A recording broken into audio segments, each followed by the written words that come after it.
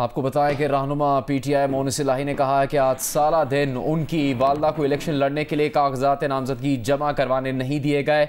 इंतजामिया लाहौर हाईकोर्ट के ऑर्डर की धजिया उड़ाती रही। मोनिस लाही ने लिखा कि जब बिलाखिर उनकी वालदा को कागजात नामजदगी जमा करवाने के लिए आगे जाने दिया गया तो गेट के साथ खड़े शख्स ने उनसे कागजात छीनने की कोशिश की। मुन सलाही ने इस वाक़े की वीडियो भी सोशल मीडिया प्लेटफॉर्म पर शेयर की और सवाल किया कि उनकी वालदा के इर्द गिर्द मौजूद सिविलियन कपड़ों में ये लोग कौन हैं?